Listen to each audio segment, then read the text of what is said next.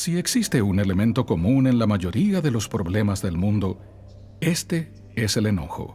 La violencia, el maltrato y el mismo odio nacen de las ardientes cenizas del enojo. Todos hemos visto cómo éste daña relaciones y destruye el amor y la confianza. Lo que es más, los estudios médicos revelan que el enojo nos puede privar del sueño, hacernos comer más de la cuenta y causar daños en el corazón. Por cierto, que nada bueno resulta de la ira. Pero hay algo que podemos hacer al respecto.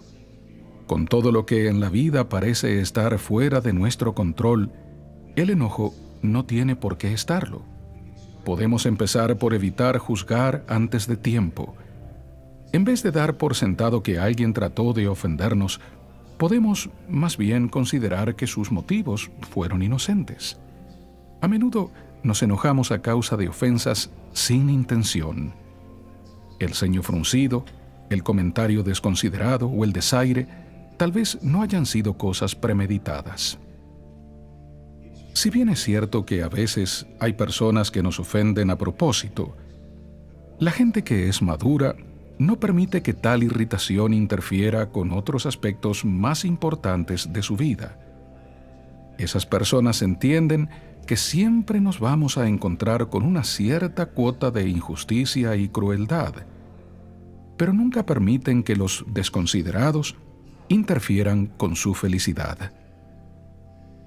Es cierto que la vida puede ser exasperante, pero si dejamos que la ira determine nuestras acciones, habremos perdido el control propio y la libertad personal.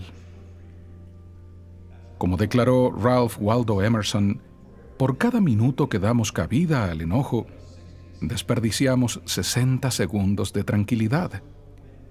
Entonces, cuando se acumula la ira, en vez de permitir que nos afecte aquello que no podemos controlar, respiremos hondo o contemos hasta 100. Al reemplazar la ira con paz, la hostilidad con comprensión y el odio con amor y compasión, aunque sea de un modo pequeño, contribuiremos a que el mundo sea mejor.